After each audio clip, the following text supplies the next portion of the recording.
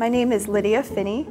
I work in the X-ray Science Division at the Advanced Photon Source, where I'm a physicist that does X-ray microscopy.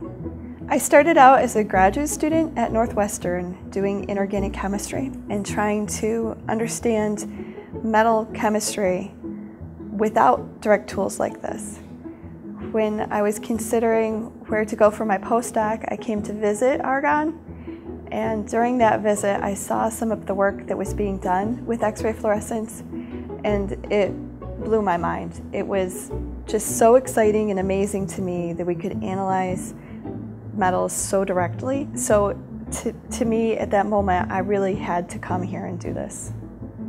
Part of becoming a scientist is often something that's difficult to stop someone from doing.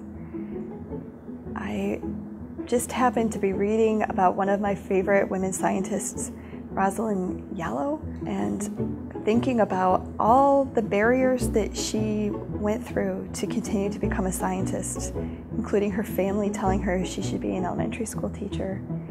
And I think that at some point, our curiosity compels us to do the work that we do. And sometimes I see this in my sons and I think to myself that at least they have a mom who's a scientist who can help them along that path. At times, things don't always come easily. Sometimes problems can frustrate you, sometimes people can frustrate you. Um, I think work life is generally like that. There have certainly been difficult times, but I think that throughout it all, being here has been a privilege, and I, I really think I would make the same choices that I've made again.